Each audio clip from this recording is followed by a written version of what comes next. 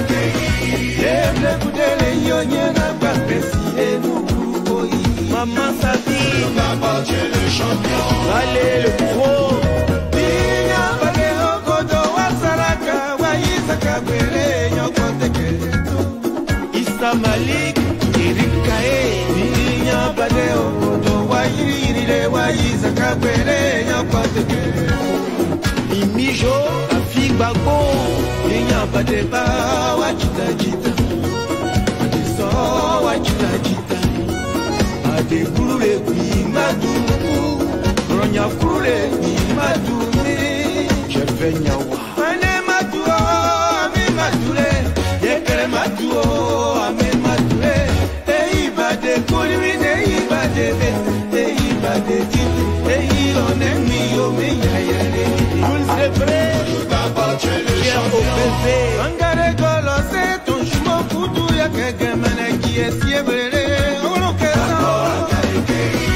On attend ton retour sur la terre de tes ancêtres Pour chanter la paix, danser de joie D'aucuns pensent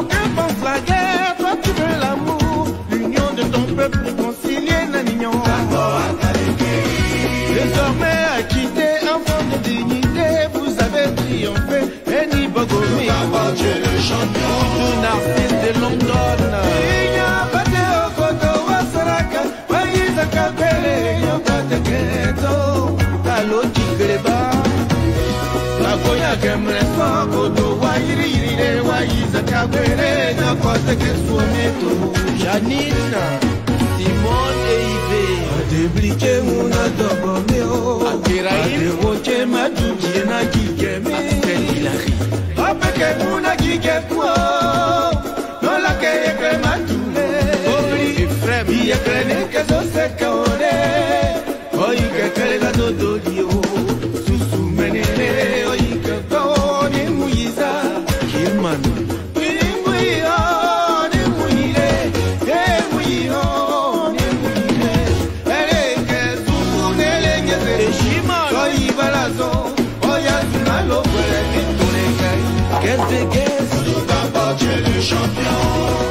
Charlie Babade.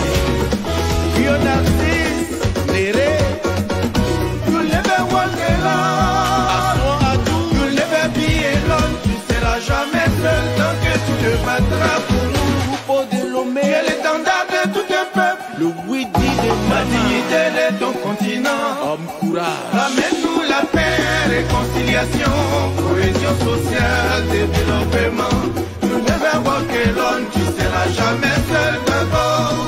Tu n'es jamais seul. Adui. Président qui et ces femmes hein, qui crient tu meurs. La partie là, tout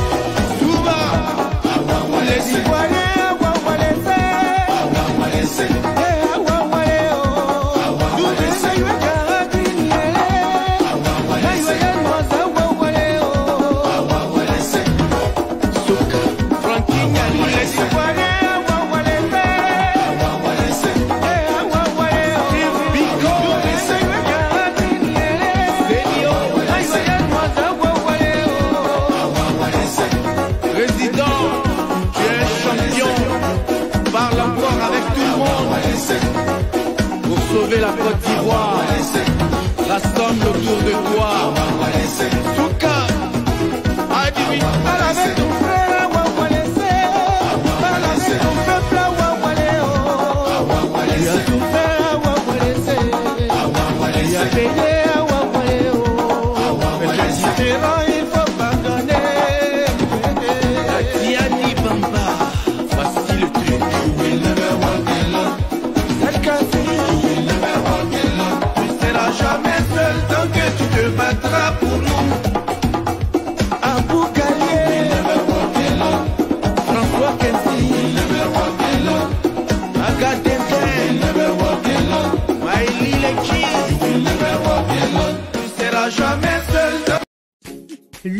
foyer compliqué de Madame Akbès. Eh, chérie, tu vas où? Réponds-moi, réponds-moi, je suis ta femme. Je dois savoir où est-ce que tu vas. Va venir me trouver ici. Tu vas venir me trouver ici.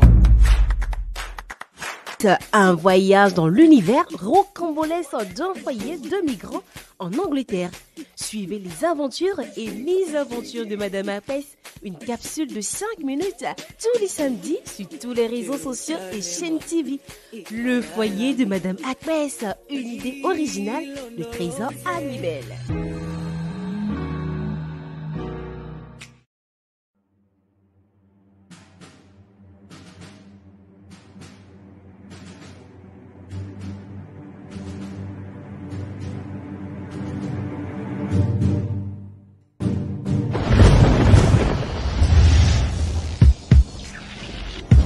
Ils ont peur, champi, ça tremble.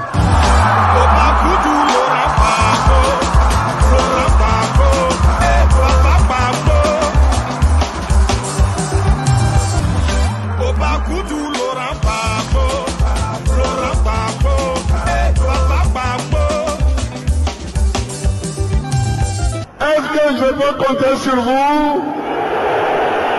Est-ce que je peux compter sur vous?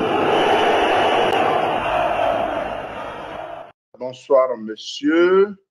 Nous nous retrouvons sur DZN TV, la diaspora s'exprime. Nous sommes donc à notre émission politico, euh, la Grande Lucarne.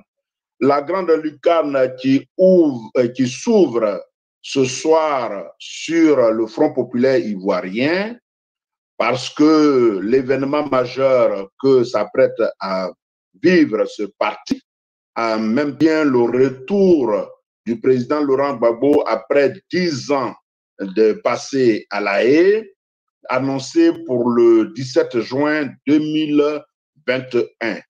Pour en parler, nous continuons donc de donner la parole à la diaspora, mais cette fois-ci en donnant la parole aux représentations du Front populaire ivoirien dans la diaspora.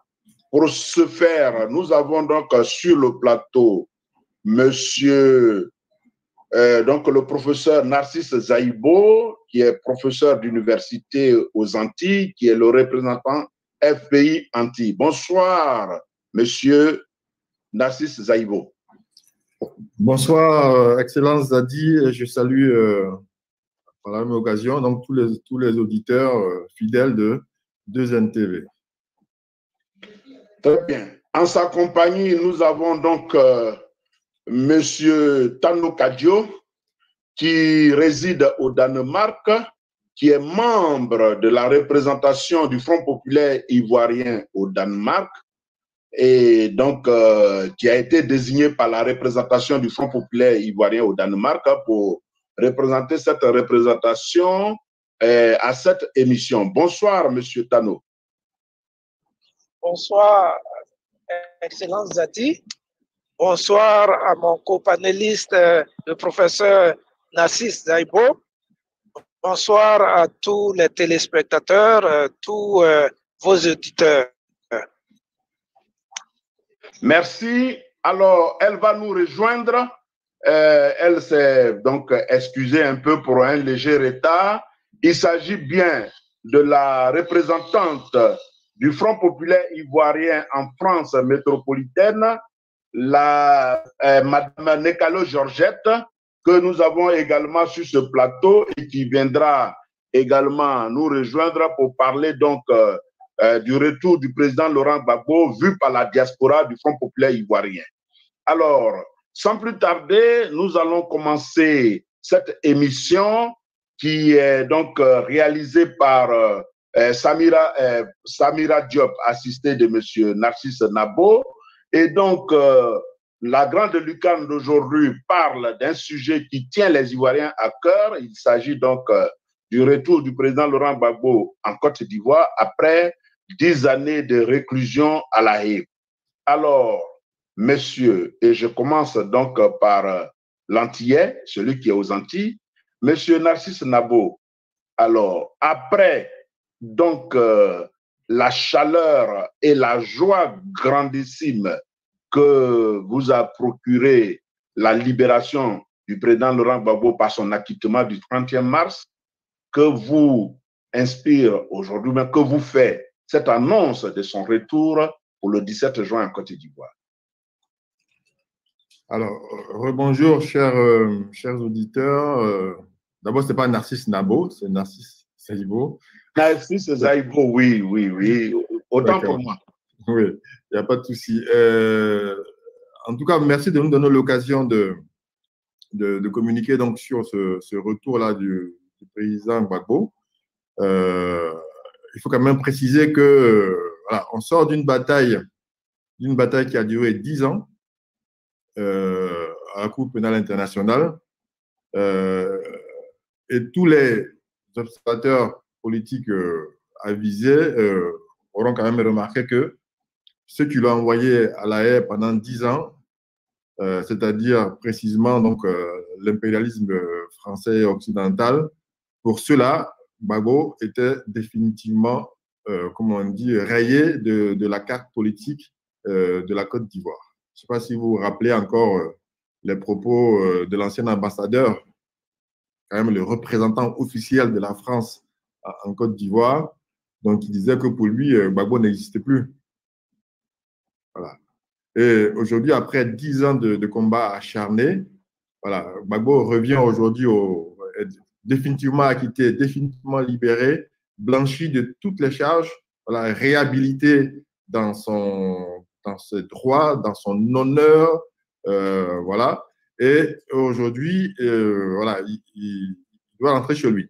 Donc, après son acquittement, euh, tout le monde se demandait justement, mais voilà, quand est-ce que le président allait rentrer, vu que le président lui-même euh, ne, communique pas beaucoup, euh, sinon assez rarement, on va dire.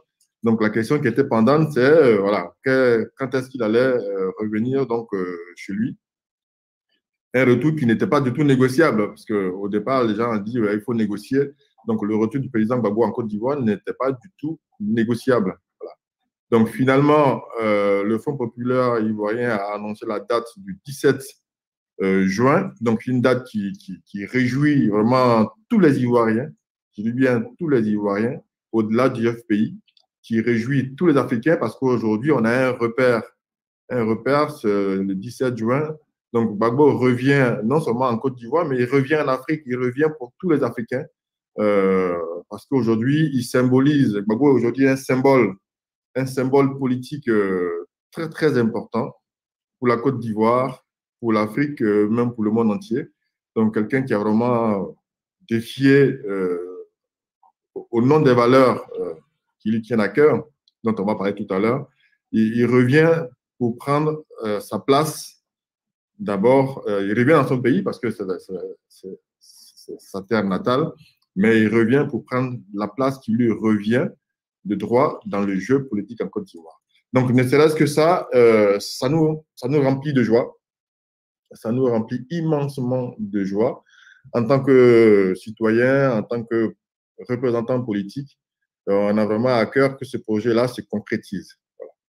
Euh, vous savez, le président Gbagbo, ce n'est pas un homme euh, à qui on facilite toutes les choses. Donc, après son acquittement, euh, même le fait de, de se projeter sur le retour en Côte d'Ivoire aussi, ça pose énormément de problèmes. Donc, vous avez vu tout le tout le cafouillage là qui entoure en ce moment son retour en Côte d'Ivoire avec des déclarations, on va dire, qui sont assez surprenantes des représentants de la société soi-disant civile euh, qui se manifestent. Euh, euh, voilà, on lui demande de raser les murs, on lui demande de, rentrer en catimini, etc. Donc voilà, c'est tous ces éléments-là, il faut qu'on en parle, il faut qu'on éclaircisse un peu les, choses.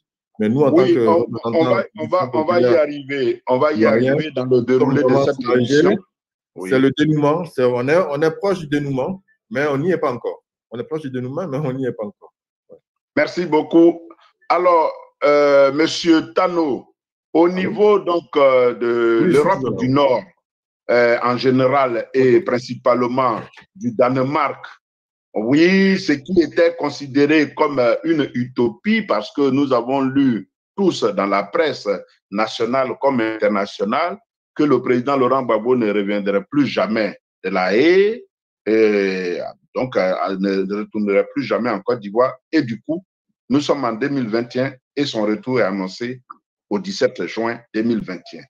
Alors, quel sentiment cela vous procure ou cela vous a procuré à l'annonce de cette euh, date? Merci, euh, euh, cher monsieur. Disons que il faut analyser le sentiment. Le sentiment qui nous anime est à la mesure de celui que nous a animé euh, son arrestation. Euh, rappelez-vous, ce lundi 11 avril 2011, imaginez-vous un homme qui s'est battu pour que la démocratie soit réinstaurée dans notre pays. Un homme qui a sacrifié sa vie de famille pour que tout le monde puisse avoir l'occasion de, de, parler et de se taper dans la poitrine en disant que je suis africain, je suis noir, je suis fier. C'est cet homme-là qu'on a humilié. Rappelez-vous toutes ces images. J'étais moi au bureau lorsque les images défilaient. J'ai versé des larmes. J'ai coulé des larmes et beaucoup d'autres Ivoiriens ont fait la même chose comme moi. Qu'ils soient de son bord politique comme nous autres, militants du Front populaire ivoirien ou pas, beaucoup d'Ivoiriens et beaucoup d'Africains ont versé des larmes ce jour-là. Ils ont euh, euh, été humiliés au même titre que le président euh, Laurent Gbagbo.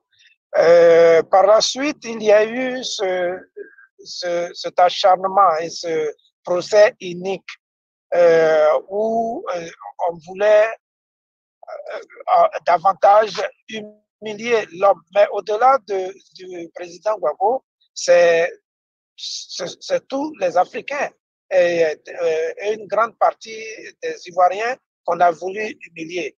Vous vous rendez donc compte que euh, la joie qui nous a animés lorsqu'il a été acquitté, c'est le plus important. Parce que le retour, ça c'est un fait acquis. C'est-à-dire que euh, euh, les gens euh, faisaient tout ce qu'ils avaient envie de faire juste pour effacer la honte, ce qu'ils ont voulu créer comme sentiment vis-à-vis de nous, nous, amener au découragement. ils n'ont pas pu obtenir ce résultat et c'est tout à fait normal que quelqu'un de la trempe du président Gbagbo, qui a été aux prises, pas seulement avec euh, ses adversaires intérieurs, mais avec, euh, vous le disiez tout à l'heure, des, avocats de la République de Côte d'Ivoire, des, Français qui ont crié sur tous les toits qu'il euh, il reviendra jamais de là où il était. Et lorsque ce n'est pas par miracle, hein. c'est la justice et puis la voix de Dieu qui s'ouvre et qui donne droit à la vérité. Et quand c'est comme ça, il faut que les hommes qui se sont empêtrés dans, dans le mensonge, il faut qu'ils se donnent le temps de se laver le visage. Et donc, c'est cela, c'est cela qui a fait tarder la chose. Et, ce qui veut dire pour moi que c'était déjà un acquis, que ce soit le 17, que ce soit le 20, que ce soit en décembre prochain, le président Laurent Gbagbo se, allait rentrer. Il fallait pour ceux qui, euh, qui, qui, qui l'ont envoyé de se donner le temps de, de, de, de se donner un peu euh, plus d'honneur eux-mêmes pour dire que euh, finalement, c'est parce qu'ils ont accepté que le président Gbagbo rentre euh, et qu'il est rentré. Je pense que c'est juste un détail. Et donc, oui, nous allons, nous allons, nous allons arriver donc, nous allons arriver donc à cet aspect des choses parce qu'il y a beaucoup à, dire sur cet aspect. Alors, nous euh, enregistrons euh, l'arrivée de Madame Georgette Nekalo, que nous avons déjà annoncé à l'entame de cette émission. Elle est donc la représentante du Front populaire ivoirien France métropolitaine, parce qu'aujourd'hui, nous avons dit que nous donnons la parole aux représentations du Front populaire ivoirien à l'extérieur. Nous avons commencé aujourd'hui nous allons continuer avec d'autres représentations parce que nous savons très bien la place que la diaspora a occupée dans la lutte pour la libération du président Laurent Gbagbo. Alors, Madame Georgette Nekalo, vous qui résidez en France, lorsqu'on sait que Paris est la deuxième ville de Côte d'Ivoire après Abidjan, le, président Laurent Gbagbo qu'on avait annoncé pour mort politiquement même et physiquement qui ne devrait plus rentrer en Côte d'Ivoire, Lorsque vous avez appris qu'il retourne enfin en Côte d'Ivoire le 17 juin, qu'est-ce que cela a fait au sein de la représentation pays euh, de, France? Quel sentiment vous avez éprouvé ou vous éprouvez en ce moment? Mais Merci, euh, Monsieur Excellence Zadi, de nous donner la parole. Bonsoir à tout le monde. Bonsoir à 12 TV. Et grand merci à vous pour le travail que vous faites. Mais la question que vous nous posez, vous savez, vous allez m'excuser. Moi, j'avais foi et nous avions eu foi. Nous savions que il existe un être suprême qu'on appelle Dieu et qui est un être de vérité. Partant de cela, quoi que les autres puissent nous traiter du fait qu'on soit accroché au cercueil, du fait qu'il fallait tourner la page. Nous avons tout entendu. Mais nous nous sommes accrochés parce que nous savions que le président Laurent Gbagbo est dans la vérité. Et nous y sommes avec lui. Étant dans la vérité, c'est la loi de la nature. Vous voyez, euh, on peut vous traiter de tout, mais la vérité point son nez à son temps. Et c'est ce qui est arrivé. Donc, vraiment, me poser la question, mais c'était une grande joie. c'était une ferveur. Comprenez, camarades Zadi Excellence, que c'est venu de façon chronologique. Déjà, les 82 témoins sur 120 sont venus pour témoigner contre lui. On finit par témoigner pour lui.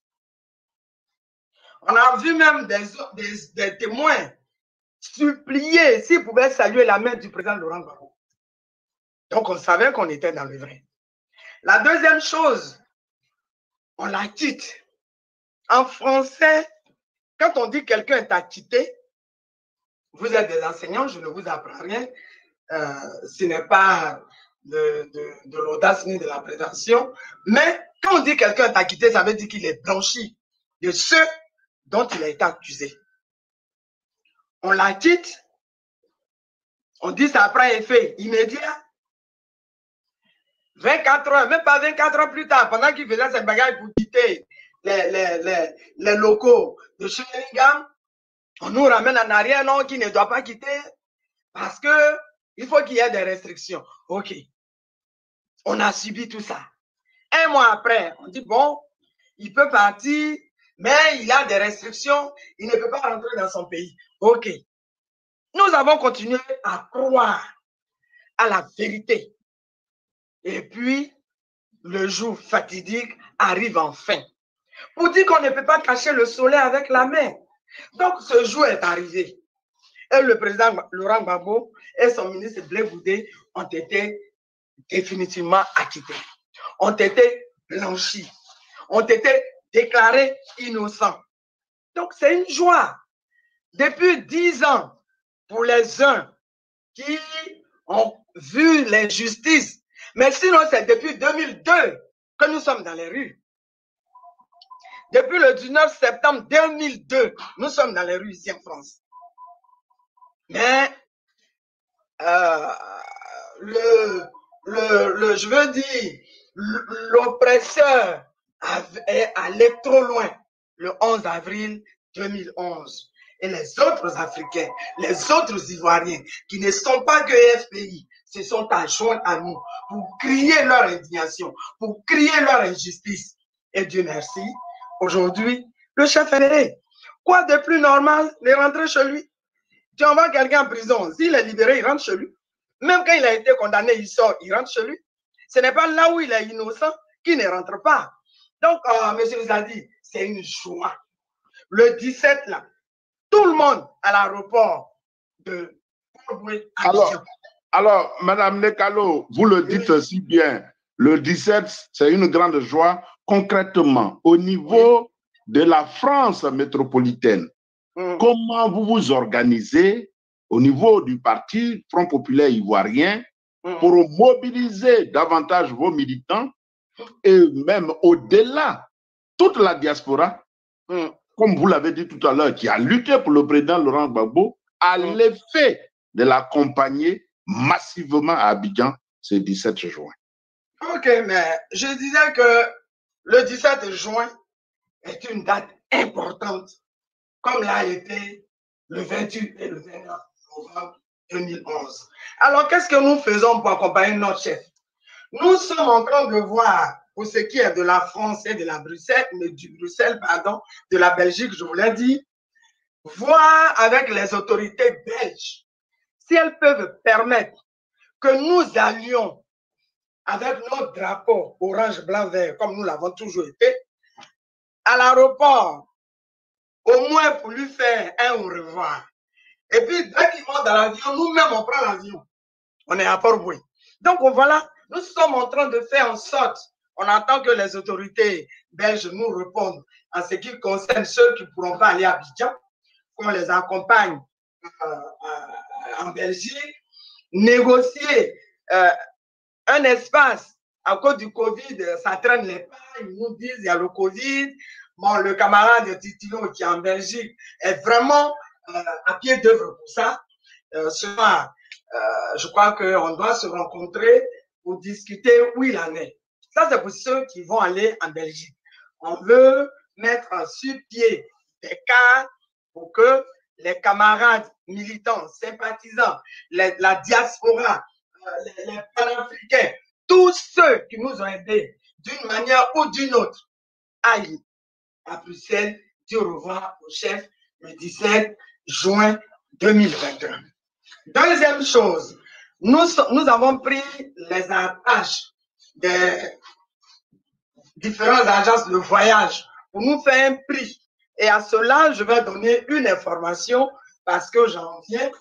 Euh, nous avons vu une agence de voyage qui est prête en deux semaines, 660 euros, aller le 15 ou le 16, retour le 29 juin.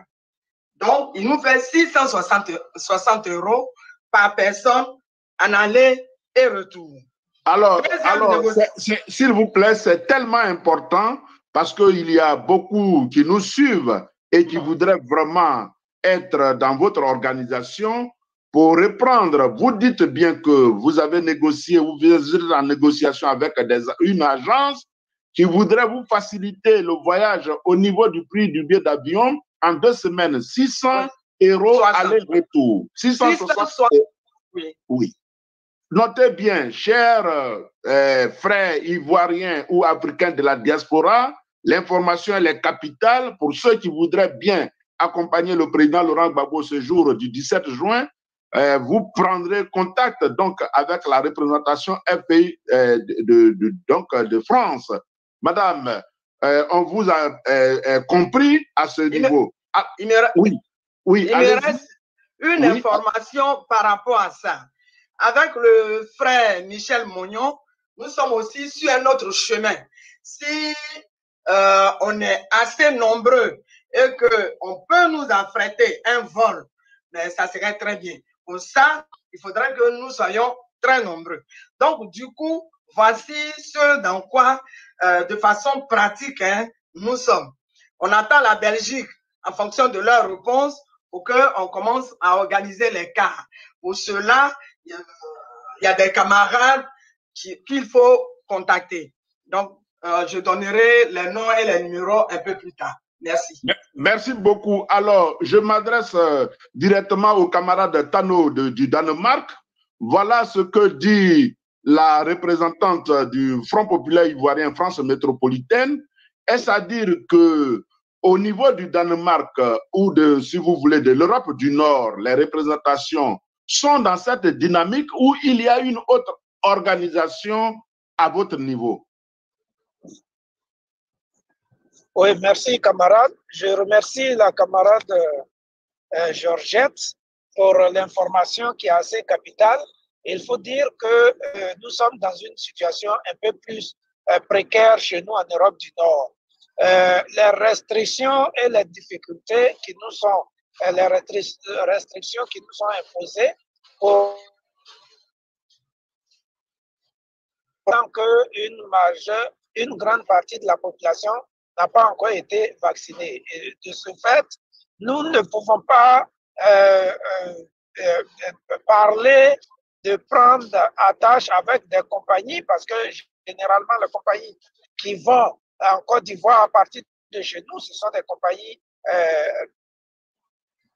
françaises ou bruxelloises et puis un peu plus rarement des compagnies anglaises. Nous ne pouvons donc pas euh, parvenir à faire ce genre d'accord. C'est pour ça que nous sommes très heureux d'avoir l'information que vient de nous passer euh, la camarade. Disons que le, frère Moignon avait déjà lancé l'opération euh, sur par rapport au départ et nous, avons déjà amené tous nos camarades vers lui, euh, mais en tout état de cause. Comme cela été le cas lorsque nous devions effectuer des voyages à La Haye à l'époque, tous nos frères et sœurs, et je ne parle pas simplement des militants du Front populaire ivoirien, ils sont nombreux des Ivoiriens qui ont soutenu la cause du président Laurent Gbagbo ici en Scandinavie. Ils sont donc nombreux qui se préparent à prendre leur billet d'avion à partir. Cette information que vient de donner notre camarade Georgette est, est fort à propos parce que ça va euh, leur permettre de réduire les coûts et puis euh, de faire d'une pierre deux coups. Donc, euh, nous sommes prêts, nous sommes, les- tout le monde est prêt à, à partir. Disons que il y a, il y en a qui vont partir le 17 et ils doivent euh, immédiatement euh, prendre contact avec les, les personnes euh, qui seront désignées par notre camarade pour- être les points de contact pour qu'ils prennent leur billet d'avion. Beaucoup d'autres, puisque le président, il va pour, pour toujours, beaucoup d'autres vont s'arranger, sont en train de s'arranger pour partir. Voilà ce que je peux dire à ce niveau. Alors, camarades, sur ce plan, euh, je demanderai euh, au camarade Zadi et à la régie de mettre pour l'instant mon numéro. Les camarades pourront me contacter. Euh, ceux qui voudront partir le 15 ou le 16 et revenir le 29 à ce prix-là. Donc, oui, oui, de toutes les façons, nous sommes dans l'émission. Votre numéro sera affiché. De toutes les façons, on va revenir sur ces informations capitales. Mais nous tournons du côté des Antilles, donc euh, du Front populaire ivoirien, donc d'outre-mer. Alors, professeur Zaïbo, euh, Zaïbo, oui, c'est bien ça. Je suis aujourd'hui dans le vrai nom. Alors, professeur Zaïbo, vous êtes aux Antilles et on parle du retour du président Laurent Gbagbo. Comment, à votre niveau, vous vous organisez? Est-ce à dire que vous, vous, vous, euh, vous faites votre organisation de façon spécifique ou bien vous le faites avec les autres représentations du continent américain, je veux parler de l'Amérique du Nord, voire les États-Unis, le Canada. Alors dites-nous quelque chose sur ce point. Alors, il faut, savoir qu'il y a euh, le FPI au niveau, au niveau mondial, on va dire, et aujourd'hui, le FPI compte 22 représentations à l'étranger. Donc, je ne vais pas tous les citer. Euh, donc, euh, ces, représentations qui sont tous à l'étranger, à l'Amérique du Nord, en Asie euh, et, partout, donc, se sont donc organisées donc, pour essayer de, de, mobiliser un peu tous les militants qui veulent vraiment participer, comme on dit, être dans le bain le jour donc, du retour du, président Laurent Gbagbo. donc, pour l'instant, aux Antilles, euh, nous sommes une petite île euh, très excentrée, euh, on va dire, par rapport à, si on veut tenir compte de la Côte d'Ivoire, c'est-à-dire qu'aujourd'hui, pour partir des Antilles pour aller à Abidjan, il faut forcément passer par Paris. Il faut forcément passer par Paris. Donc, c'est plus intelligent donc, de s'organiser avec, avec la, la, représentation de Paris pour essayer de travailler d'un commun accord pour, on va dire, harmoniser un peu les, euh, ou coordonner un peu, on dit les, militants qui veulent, qui veulent partir, euh, qui veulent partir euh, donc pour l'accueil du président Gbagbo. Donc il n'y a pas une organisation spécifique au niveau d'Idanti. Euh, sur le plan géographique, on est plus proche des États-Unis, mais sur le plan pratique, on va dire, on travaille plus facilement avec la représentation de Paris. Parce que pour partir des Antilles pour aller à Abidjan, il faut forcément passer par Paris. Alors, je reste avec vous. Alors, nous constatons que l'engouement est, de taille parce que l'événement en vaut le coup. Mais eh, du côté d'Abidjan, où nous, eh, où nous nous rendons tous pour accompagner le président Laurent Gbagbo, il y a des sons qui nous parviennent. Alors, quel à votre avis, quelle réponse il faut donner ou bien quelle explication il faut donner à ces sons discordants? Je ne parle pas euh, au niveau de l'organisation, c'est pas ça qui est notre problème.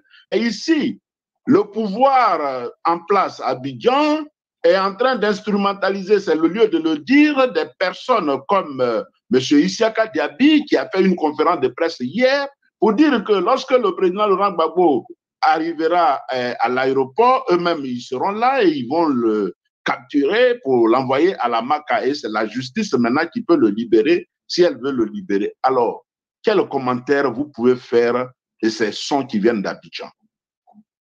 Alors, il faut quand même préciser les, choses. Aujourd'hui, euh, le pouvoir RDR euh, de, de Ouattara n'a pas le choix ils ont, quasiment reçu euh, l'ordre de la CPI d'organiser le retour du président Gbagbo en Côte d'Ivoire.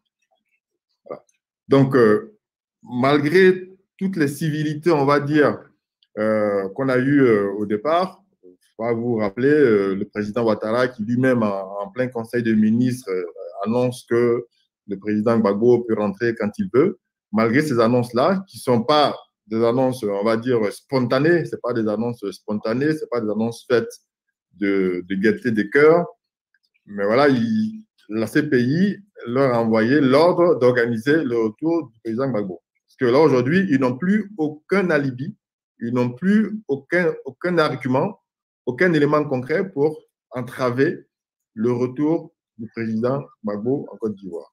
Donc, malgré les, civilités euh, qui ont duré quelques temps, d'ailleurs, ça n'a pas duré très longtemps, aujourd'hui, on voit que le pouvoir, comment on dit, instrumentalise ces, réseaux à travers des, ONG un peu, factices pour, communiquer sur le fait que il y a eu des victimes, il faut tenir compte des victimes, etc. Mais donc, le, pouvoir n'y va pas, euh, on va dire, de gâter des cœurs, parce que si vraiment ils étaient engagés dans la voie de la réconciliation, un pouvoir, on va dire, qui est, euh, sûr de lui, qui est raisonné, etc., aurait pris des initiatives fortes pour organiser le retour du président Macron. La seule initiative que le président Ouattara a prise, c'est que voilà, je prends en charge le frais de voyage du président Gbagbo. C'est la seule initiative officielle qu'il a prise pour dire voilà, je prends en charge le retour du président Gbagbo il faut quand même savoir qu'à à la haie, le président Gbagbo n'était pas tout seul. Il était avec euh, son ministre Charles Blé et il, n'y a eu justement aucun, aucun, aucune communication sur le cas du ministre Charles Blé qui a été acquitté dans la même dimension que le président, que le président Gbagbo. Donc aujourd'hui, euh, si le Ouattara était dans de bonnes dispositions, quand je dis dans les bonnes dispositions, c'est-à-dire pour euh, que les choses se passent normalement et dans le sens de la réconciliation que prône le Front populaire ivoirien depuis fort longtemps, ils auraient déjà pris une loi d'amnistie avant l'arrivée du président. Ils auraient déjà pris une loi d'amnistie. Pourquoi? Parce qu'ils maintiennent comme une espèce de, chiffon rouge cette condamnation de 20 ans qui distribue à tour de bras à tous les opposants politiques. Ils auraient déjà pris une loi d'amnistie pour effacer tout ça, pour montrer leur bonne volonté euh, quant au, retour du président Gbagbo dans les bonnes conditions. Voilà. Donc aujourd'hui, le pouvoir Ouattara est très embarrassé par, ce, retour-là, mais ils n'ont pas le choix.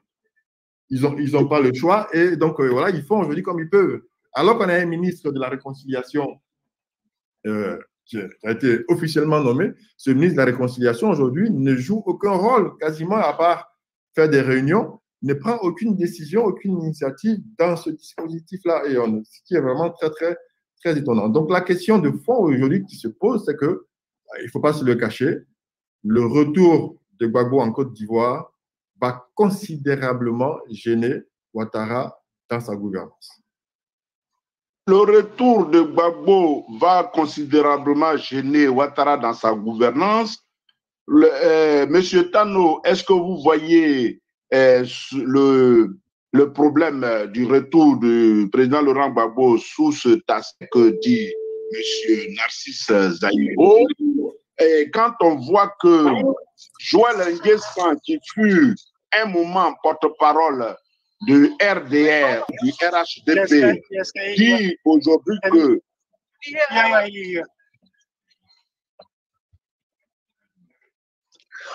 oui, euh, merci, euh, cher ami. Je... Non, je n'ai pas fini. Je, n'ai pas fini. S'il vous plaît, je n'ai pas fini. Allô? Monsieur oui, allô? Oui, bon. Bon, donc je dis que, monsieur, selon. Oui, oui, oui, oui, oui, je, vous entends. Je vous. Ok, selon monsieur Narcisse Zaïpo, le retour du président Laurent Gbagbo en Côte d'Ivoire va gêner énormément euh, le pouvoir RHDP, alors que le président Laurent Gbagbo lui-même, lorsqu'il avait accordé une interview en octobre 2020 à TV5, euh, euh, disait à Denise Poté Durand qu'il interviewait que lui, il ne voudrait pas. Pourquoi jusque-là, il ne, il ne prend pas un avion pour aller à Abidjan? Il ne voudrait pas que ça n'arrivait à Abidjan crée des troubles, alors que au niveau du Front populaire ivoirien, vous dites que son retour en Côte d'Ivoire va booster la réconciliation, mais du côté du RHDP, les sons qui nous parviennent ne sont pas dans le sens de la réconciliation. Est-ce pour cela que M. Zaïbo dit que le retour du président Laurent Gbagbo va énormément gêner le pouvoir RHDP Quelle lecture vous faites concrètement en faveur de la paix venant du RHDP. Oui, merci, cher ami. Bon, disons que euh, euh, est-ce que le retour du président euh, Laurent Gbagbo gênerait le, le le RHDP ou le RDR. Non, absolument non. Euh, je le disais tantôt, le gros du problème tient au fait que euh, il y a des personnes qui euh, qui se sentent totalement gênées par l'acte qui a qui fut posé à l'époque. Et donc euh, le retour, c'est-à-dire que tout le monde, tous les dossiers ont été montés euh, pour euh, condamner le président Gbagbo définitivement et qu'il ne rentre plus en Côte d'Ivoire. C'est aux yeux de tout le monde, du monde entier, que le président Laurent Gbagbo a été acquitté de tout. Il faut qu'on, il faut qu'on précise les expressions. Il ne s'agit pas d'un non-lieu.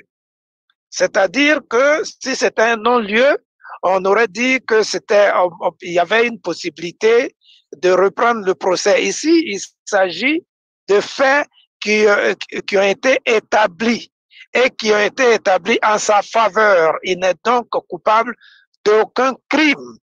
Ça, ça c'est un camouflet euh, pour ceux qui l'ont envoyé. Et donc, c'est tout à fait normal. Nous sommes dans un pays euh, dit démocratique tout de même. Et il est, il est loisible à toute personne de se lever et puis euh, de se plaindre. Mais vous remarquerez que le même euh, Diaby Isiaka, lorsqu'il a, euh, euh, il est arrivé euh, le moment de prononcer de, de, de prononcer une décision par rapport au procès d'Amadé Ouremi, il a dit tout simplement qu'il euh, qu'il accepte la décision.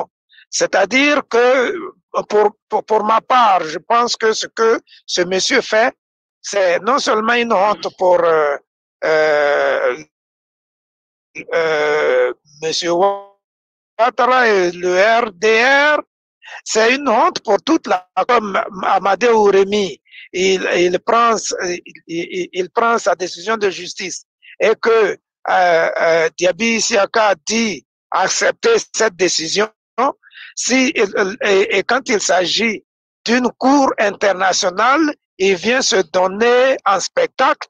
C'est une honte pour nous tous. Je pense d'ailleurs que c'est pour cela que les officiels du, du RDR ont commencé a commencé par son euh, directeur exécutif, a commencé à donner de la voix d'une autre manière. Et je crois que tout sera mis en œuvre pour que l'État de Côte d'Ivoire, puisque c'est l'État de Côte d'Ivoire qui doit gérer le retour du président Laurent Gbagbo, pour que toutes les, euh, toutes les dispositions seront prises. Les, les, les, les, responsables de notre parti ont déjà pris à tâche avec les officiels, ils ont euh, travaillé sur ce retour. Je ne crois aucunement qu'il va avoir un quelconque problème à ce niveau. Il est, il est, c'est tout à fait naturel que euh, Monsieur euh, euh, Diaby Isiaka, d'ailleurs, il y a d'autres sons de cloche, euh, des gens qui, euh, qui, qui, qui, ne comprennent pas pourquoi il se dit et depuis quand il, il, a été nommé président euh, d'une quelconque association de victimes, association qu'il qu'il euh, titre qu'il a utilisé pour, euh, dit-on, euh, vouloir escroquer d'autres personnes. Il y a, n'oubliez pas que c'est ce Diaby Isiaka qui a arrangé l'arrivée la, la, la, de témoins à La Haye et il y a plusieurs de ces témoins qui, euh, qui ont pris la clé des champs quand ils sont arrivés en Hollande. Et c'est tout cela qui a, euh, qui a poussé d'ailleurs, à mon sens, euh, le, juge président a, a, a recusé, ou du moins le procureur a recusé un certain nombre de ces mêmes euh, euh de, de, mêmes témoin. Il ne peut qu'en s'apprendre à lui-même. Je pense que c'est cette honte-là qui pousse M. Diaby à, à, faire cette déclaration. Rien, il n'y aura rien. L'arrivée du président Laurent Gbagbo est gérée par euh, les officiels de sécurité. il ne peut rien avoir à l'aéroport en Côte d'Ivoire. Je n'y crois pas. Je pense que les, les pontes du RDR sont en train de se ressaisir. Ils vont se ressaisir. Comme je l'ai dit, il y a une, une forme de honte qu'on doit laver et c'est ce qu'ils s'emploient à faire en, en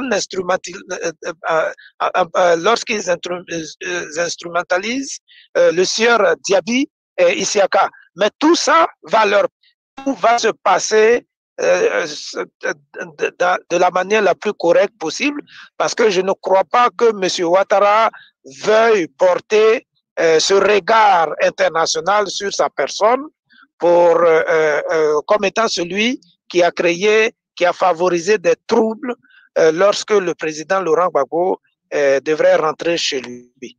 C'est ce que Oui. je pense. Ok, merci pour le titre. Parce que eux-mêmes, euh, au niveau, on a suivi le procès de la CPI, et là, je m'adresse euh, à Madame Georgette Nekalo, et que euh, ils avaient fait mains et pieds pour ne pas que le président Laurent Gbagbo soit libéré, parce que pour eux, lorsque le président Laurent Gbagbo arrive en Côte d'Ivoire, euh, son arrivée allait créer des troubles. Et aujourd'hui, on voit que c'est le régime en place qui est en train d'orchestrer ces troubles. Alors, Madame Georgette Nekalo, vous qui êtes en France, et vous qui êtes donc à l'international au niveau du Front populaire ivoirien, quelle action concrète vous faites pour saisir aussi les organisations internationales? Parce que le procès de Laurent Gbagbo s'est déroulé à l'international, c'est l'ONU, par sa branche juridique, la CPI qui l'a jugé. Alors, pour saisir aussi les institutions internationales pour que euh, acte soit pris de ce que est en train d'organiser le pouvoir d'Abidjan si éventuellement il y avoir des troubles qu'on devrait mettre sur le Front populaire ivoirien, qu'on interdit d'ailleurs hein, de- de- d'organiser un accueil triomphal ou bien en face, alors que vous vous apprêtez pour aller massivement à Abidjan. Mais merci, monsieur euh, Excellent Zadi. Avant de revenir à votre question, je voudrais revenir sur un point qui est une honte pour nous. Une véritable honte pour la Côte d'Ivoire. Que monsieur Isiaka Diaby dit ce qu'il a dit. Et moi, au début, quand on me l'a rapporté, j'ai dit non, ce n'est pas vrai. Non seulement il s'autoproclame le représentant des victimes, mais en même temps, il professe des menaces. On est dans un contexte, et je pense que M. Ouattara est dans ce contexte avec son RDR, de réconciliation. Les enfants de la Côte d'Ivoire doivent se parler, se réconcilier. Et des propos de ce genre sortent des autorités du RDR et je n'entends rien effectivement comme, euh, euh, je dirais, réclamation, comme euh, des mises à jour, des mises à pied, rien. Effectivement, votre question est bien posée. Je disais tout à l'heure, c'est une honte pour nous. Monsieur Diaby Isiaka doit comprendre que lorsque le RDR et le PDCI en son temps décidaient d'envoyer le président Gbagbo Laurent à la haie, c'est parce qu'ils ont dit qu'ils ont une juridiction qui ne pouvait pas le juger. Qui n'oublie pas cela. Qui n'oublie pas cela. Et c'est pour cela que le Front populaire ivoirien fait de l'école son élément social le plus important. Parce que quand les gens vont à l'école, ils comprennent les mots et ils comprennent les non-dits. Diaby n'a pas compris que quand on dit quelqu'un est acquitté, c'est qu'il est blanchi. Ça veut dire la faute est ailleurs. L'auteur est ailleurs. Mais qui se pose la question Qui donc a tué ceux qu'il appelle, il défend et qu'il appelle les victimes? Qui les a tués? C'est à cela, s'il était là à l'école et s'il avait ne serait-ce qu'un peu de jugeote, ce sont ces questions qu'il allait se poser. Je disais que ces individus-là nous font honte. On a vu une députée élue de la nation de Côte d'Ivoire aller se bagarrer ouvertement dans une institution internationale. Il faut le faire. C'est une honte pour la Côte d'Ivoire. Et donc, les propos d'Issou Diaby rentrent dans ce contexte-là. Des illettrés analphabètes qui ne comprennent pas de Diaby. Ici à Diaby. Ah, d'accord, à Diaby. Désolé. Alors, je disais que c'est un problème. Parce qu'à un moment donné, c'est vrai que la, la, la, la, nature est stratifiée, mais chacun doit rester à sa place. Si tu es un alphabétisé, il faut lire les ABC et les Mamadou et Bineta. Il reste là. Si tu es un intellectuel aussi, lève le débat et réfléchis au haut niveau. Nous avons aujourd'hui affaire à des individus qui ne comprennent rien à rien, ni à la chose politique, ni à la chose juridique, ni rien du tout, et qui occupent l'espace politique. C'est une honte pour la Côte d'Ivoire. Je voudrais vraiment le dire. La deuxième chose, c'est euh, pourquoi nous sommes à l'international, qu'est-ce que nous faisons par rapport à ces, différents propos? Euh, cher monsieur Zadi, nous avons beaucoup à faire. Nous faisons les choses pas à pas. Notre objectif premier était d'abord que notre champion soit innocenté. En réalité, nous qui le connaissons, nous savons qu'il n'avait rien fait. La Côte d'Ivoire qui le connaît, c'est qu'il n'a rien fait. Maman Laurent est un individu incapable d'écraser une mouche. Vous avez vu 18 mois de gouvernance qu'il a fait. Tout le monde se plaignait autour de lui, c'était des erreurs, c'était des soucis. On l'a arrêté. Euh, euh, l'opinion internationale, la justice internationale a fouillé dans tous les comptes du monde. Pas trouvé un seul centime.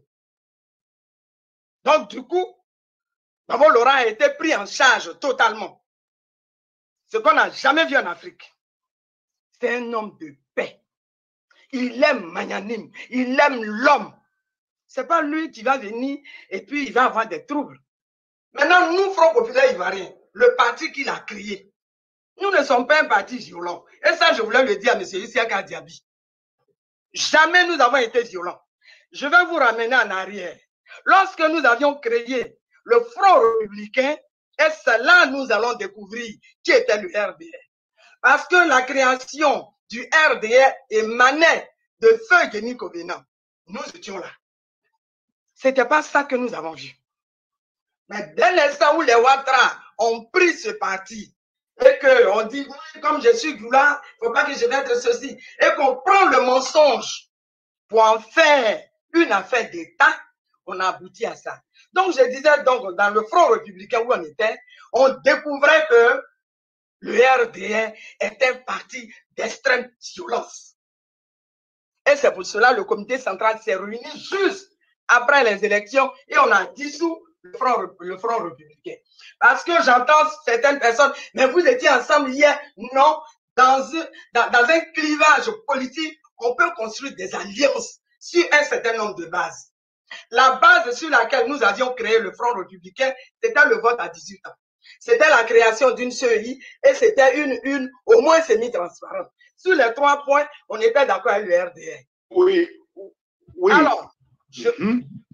Oui, allez-y, allez-y. c'est ce qui nous a mené à créer donc cette alliance que nous avons rompu automatiquement quand nous avons vu que le RDR était parti. Donc, vous voulez dire que ce parti est caractérisé par la violence. Donc, oui, parce que je passe- le dis, je le dis. Oui, Voilà, ce qui se Voilà, passe actuellement n'est pas surprenant. Le RDR est un parti violent. Maintenant, nous Oui, allons, mais nous madame, avons pris madame, madame, madame, euh, aujourd'hui, nous sommes dans une dynamique. Je ne sais pas que je vous arrête.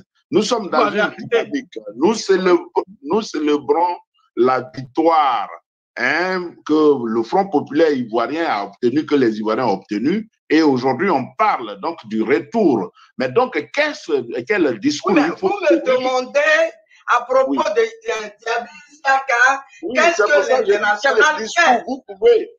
Oui, mais- Voilà. Ah oui, mais pour ça, il faut que je plante le décor. Donc, je plante le décor et c'est le décor que je viens de planter. Pour dire, si nous sommes dans une dynamique de réconciliation, le RDR et M. Ouattara doivent appeler, rappeler à l'ordre des propos et des personnalités comme Isiaka Diaby et Big Togo. On n'a pas qui tiennent ce genre de propos. À ça, ça ne rentre pas dans la réconciliation. Voilà. Donc, nous prenons acte. Si ça continue, effectivement, nous allons porter plainte contre eux. Merci.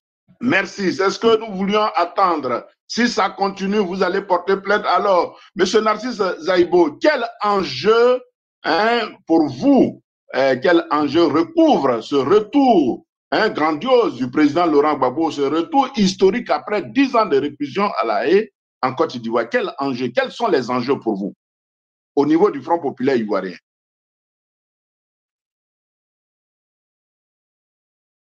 Votre micro, votre micro est muté, votre micro est muté, on ne vous entend pas. Euh, c'est bon, excusez-moi, excusez-moi. Ouais.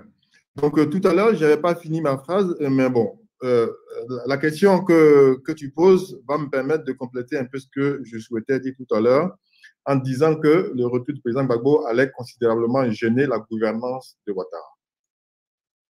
il faut que je précise ce terme-là, gêner la gouvernance de Ouattara. Allez-y, allez-y, on vous écoute. Il faut quand même préciser qu'il s'agit quand même du retour d'un démocrate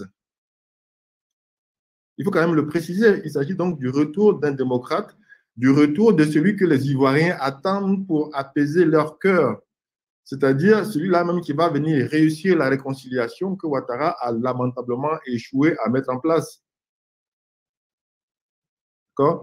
Aujourd'hui, le président Gbagbo, c'est le, le symbole de la domination française en Afrique. Quand je dis bien le symbole de la domination française en Afrique, le symbole de la domination économique, domination militaire et domination culturelle en Afrique. Et Bagbo est aujourd'hui vu comme le symbole de la résistance. Ça fait vraiment deux choses qu'il faut mettre en regard euh, complètement. Vous avez aujourd'hui le symbole de la domination en française en Afrique qui est, dont la Côte d'Ivoire porte le flambeau avec Ouattara. Et Bagbo, qui a été amené à la, à la CPI après dix années de résistance, parce qu'il luttait justement contre ce symbole de la domination euh, française en Afrique. Euh, celui-là même qui voulait donc affranchir les Ivoiriens euh, de, de l'hégémonie française. Observez aujourd'hui ce qui se passe en Afrique. Regardez ce qui se passe aujourd'hui en République centrafricaine. Ce que les Ivoiriens ont vécu a servi aujourd'hui à la République centrafricaine, qui aujourd'hui sont en train de se défaire des liens de, la, domination française en faisant appel aujourd'hui à la collaboration russe. Regardez ce qui est en train de se passer aujourd'hui tout à côté de nous, au Mali. Les Maliens aujourd'hui sont en train de prendre leurs responsabilités pour euh, se défaire de la domination euh, française. Tout récemment encore, Macron a menacé de, faire partir les, ces, troupes françaises euh, au Mali si jamais on, on continue à manifester euh, de l'ostracisme envers la, France. Donc, il y a un vaste mouvement. Ce qui s'est passé en Côte d'Ivoire, c'est que nous avons subi comme humiliation. Aujourd'hui, sert de leçon un peu à, tous les autres pays africains. Le Gabon, tout récemment, est en train de sortir de la francophonie. Le Gabon est en train de militer pour essayer de rentrer dans le Commonwealth.